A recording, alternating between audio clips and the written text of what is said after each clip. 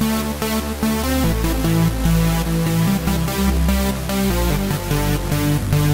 be right back.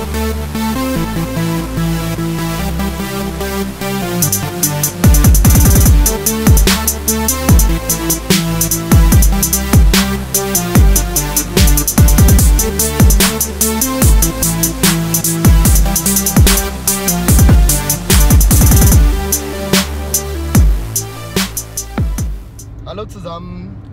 Heute ist ein wunderschöner Tag. Blauer Himmel, strahlender Sonnenschein. Leider Ost-Südost-Wind, deswegen nicht ganz vorteilhaft. Aber das Wetter ist beständig jetzt seit drei Tagen auf diesem Level oder seit vieren sogar schon. Daher habe ich mir gedacht, und auch weil mein Leben im Moment einen Salto vorwärts macht, geht alles sehr, sehr schnell. Ich muss den Kopf mal frei kriegen. Die anderen haben heute keine Zeit, das macht aber auch gar nichts. Ich gehe heute auf Hornhechte los. Ich fahre hier an einem Rapsfeld nach dem nächsten vorbei der jetzt angefangen hat zu blühen seit ein paar Tagen. Das ist ja immer das Signal, dass die Hornhechte in die Ostsee reinziehen. Von daher gehe ich mal, habe ich mir meine Watthose geschnappt und gehe gleich schön ähm, erstmal an den Strand. Guck mal, mache ein paar Würfe direkt vom Strand aus. Denn es äh, ist ja ganz häufig so, gerade bei so gutem Wetter und ähm, angenehmem Wellengang, das nicht ganz so stark ist, dass die Fische schon stark unter Land oder dicht unter Land stehen können. Deswegen, wenn man gleich reinplätschert, verscheucht man die meisten Fische unter Umständen. Deswegen lasse ich das mal und mache das direkt erstmal vom Strand. Und wenn ich merke, nach 10, 20 Würfen, okay, da passiert so gar nichts, dann geht das ab ins Wasser. Ja? So, schauen wir mal, ob wir da was ähm, heute gebacken bekommen. Ich habe alles mit, bis auf Seide und werde auch noch Fischfetzen später ausprobieren. Mal gucken, welcher, welcher arme Lump da als erstes für herhalten muss. Aber ich werde schon irgendeinen ähm, kleinen Teufel finden und dann werden wir mal schauen, was, das, äh, was daraus wird. Also, wir sehen uns nachher am Wasser. Bis dann. Ciao.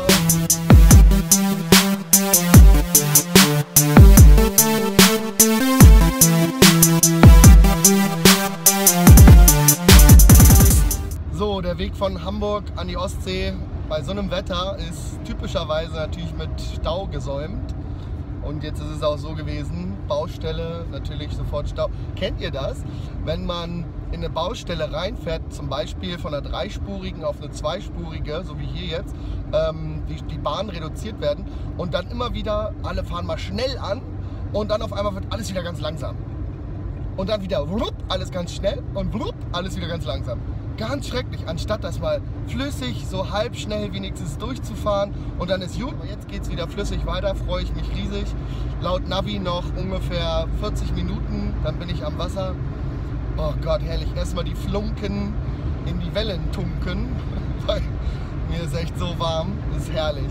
Aber mein schnuggeliges altes Auto ist ein kleiner Opa von Audi, der ist so cool, der hat eine Klimaanlage. Also bis nachher dann nochmal.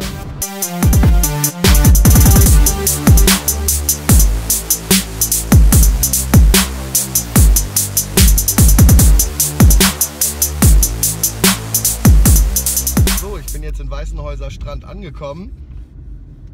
Ein typischer Touri-Ort. Also wirklich Parkplätze links, rechts, Schilder für Hotels, Dänen, die kein Auto fahren können und so weiter. Das ist ganz lustig. Ähm, ja, angeblich bin ich nur noch zwei Minuten von meiner äh, auf der Google Maps Karte ausgesuchten Angelstelle entfernt. Das ist ein Einlauf, wo Wasser, also Süßwasser, in die Ostsee einläuft. Da verspreche ich mir vielleicht sogar noch einen Wolfsbarsch oder sowas. Irgendwas Nettes. Ähm, gucken wir mal. Ich bin total gespannt. Vielleicht ist auch total blöd der Platz. Dann habe ich mir schon überlegt, fahre ich nach Puttgarden ähm, beziehungsweise nach Fehmarn einfach. Und guck mal da, ob es da nicht schöne Stellen gibt. Ist ja ein wunderschöner Tag, es ist halb drei, noch ist Zeit, noch geht alles. Also, bis gleich. We'll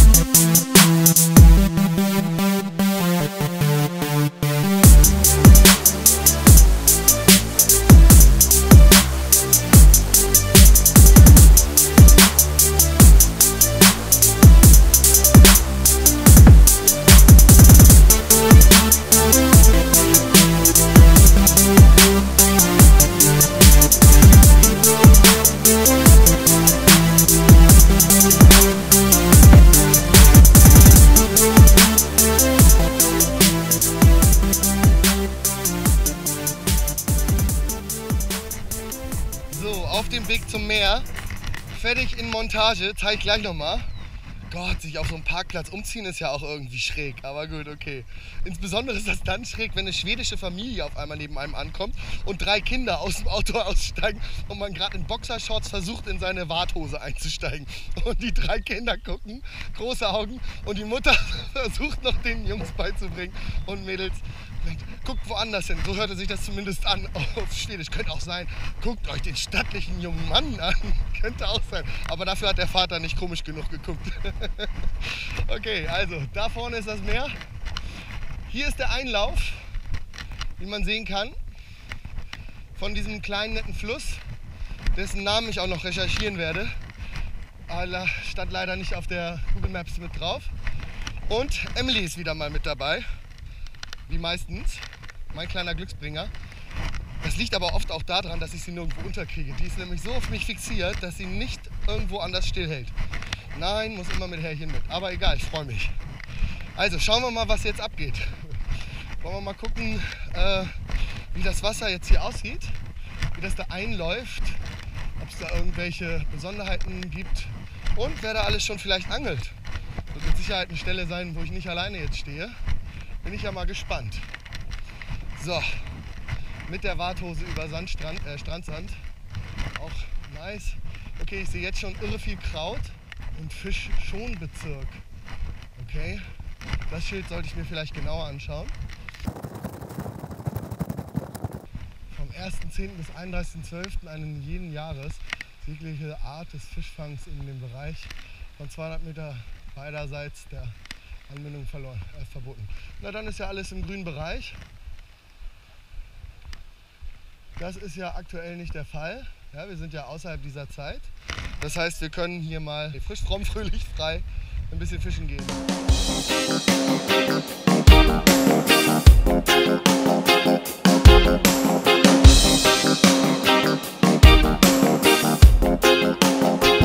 eigentlich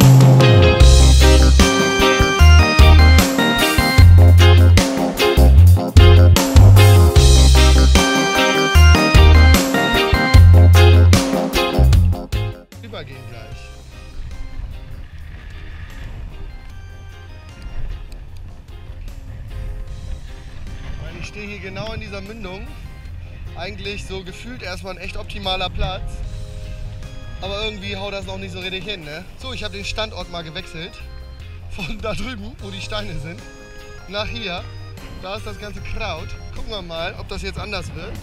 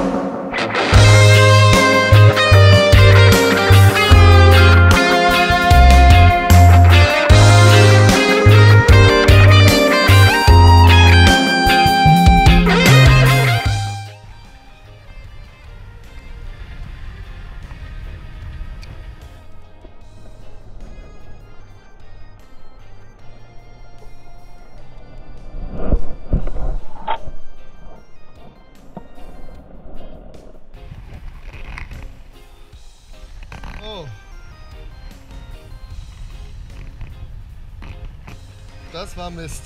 Das ist ein Kumpel. Moin, moin. Kutte ist gekommen, ist gekommen an die Strand und hat gebracht von die Bags. Ah, Prosti. Stößchen.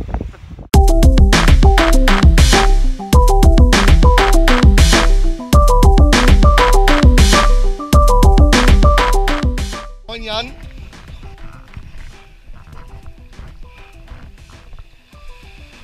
Auf was? hier und das garantiert gehakt. Weiß man nicht.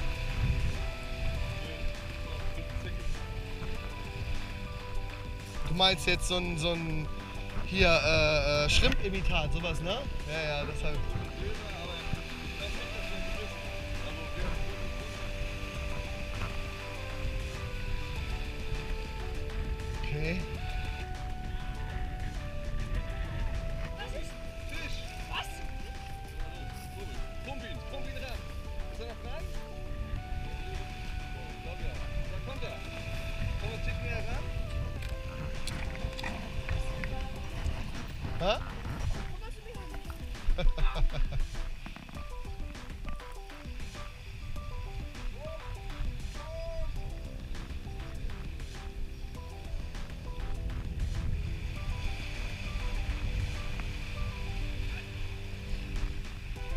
Da kommt er. Oh ja.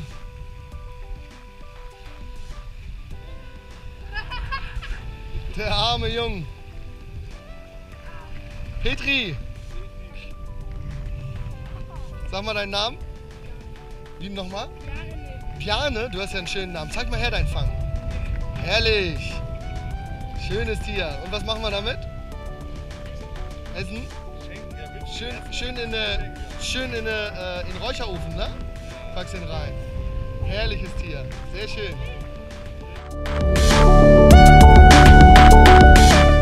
Liebe Leute, ich habe gerade Jan und Bjarne, seinen Sohn, getroffen aus Schmalensee. Sehr nette Jungs, wohnen hier. Schmalensee ist hier in der Gegend. Und der fischt hier seit 20 Jahren, hat mir erstmal einen heißen Tipp gegeben. Da vorne bis auf die Spitze laufen und dann umsatteln von Meereswobbler, Küstenwobbler hin zu Spirulino-Montage mit schön Vorfach, so wie ich das auch kenne. So, und dann geht das mal los. Ne? Hat er mir, der, der Jan, der Vater, total netter Typ, ganz entspannt, hat mir zwei Fliegen mitgegeben, mit denen ich hier gut fangen kann. Da bin ich jetzt ja mal total gespannt und very hot, dass das funktioniert. Ich melde mich gleich wieder. Voll abgefahren.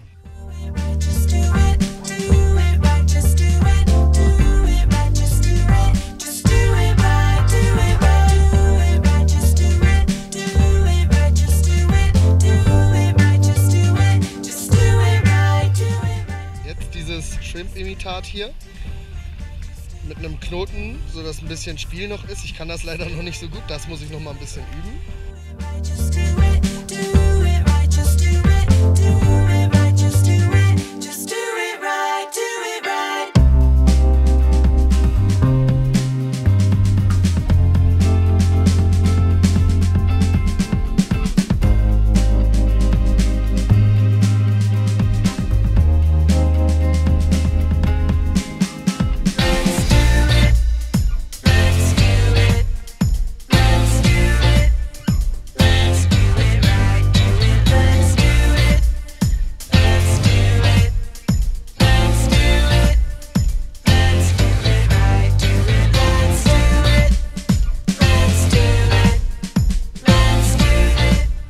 Hinter mir ist übrigens der Süßwassereinlauf in die Ostsee, den ich vorhin angesprochen habe. Und es ist der Oldenburger Graben.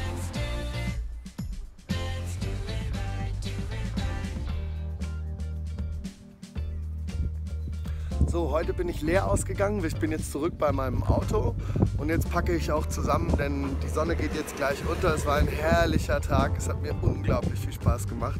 Wir haben trotzdem Fisch gesehen von Jan und Bjane. Ganz toll, Jungs. Herzlichen Glückwunsch, Petri Heil. Wir sehen uns bestimmt mal wieder. Äh, Jan, ich würde mich riesig freuen, wenn du dich bei mir melden könntest, dass wir mal zusammen losgehen und vielleicht noch ein neues Video machen.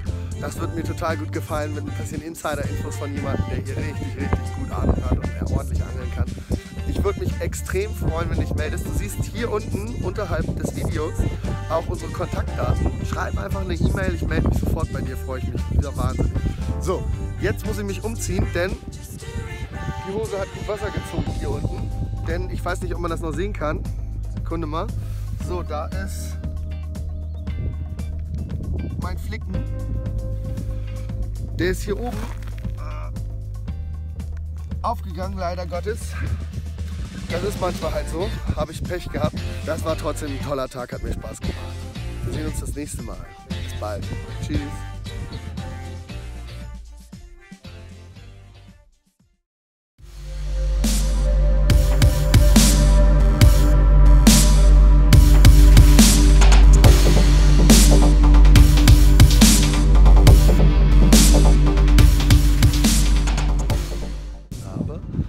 Habe ich relativ sicher schon rausgefunden, das ist der Oldenburger Graben.